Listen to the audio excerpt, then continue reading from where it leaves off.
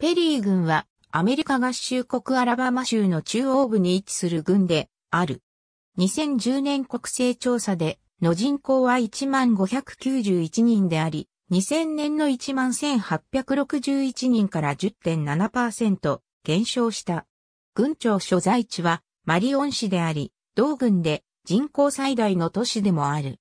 ペリー郡は1819年に設立され、ロードアイランド州出身で、アメリカ海軍の提督を務めたオリバー・ハザード・ペリーにちなんで名付けられた。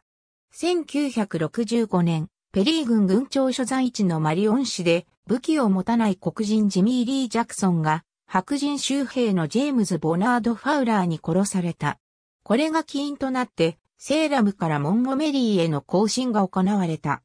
2008年、軍民投票で毎年11月の第2月曜日を法定の休日であるバラク・オバマの日とすることを決めた。